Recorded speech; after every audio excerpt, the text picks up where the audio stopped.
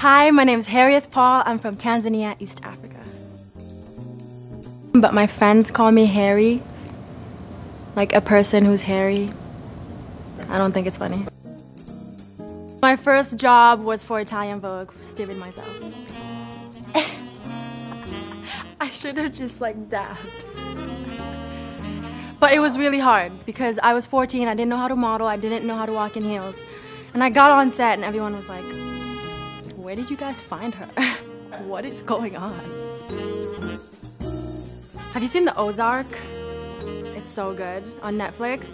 I am on Insecure. I'm on Power. Kendrick Lamar was on Power. I'm binging on everything. everything. Love, wait, what is it called? Love Island too? Avocado toast. I know it's pretty lame. Every model eats avocado toast. But you have to mix chili flakes with it, lemon. Make it your own. Michelle Obama. Jesus, the black version. and my mom. Summer. Because cute boys with no shirts. the beach. And you get tan. I hope my dad doesn't see this. This is so awkward.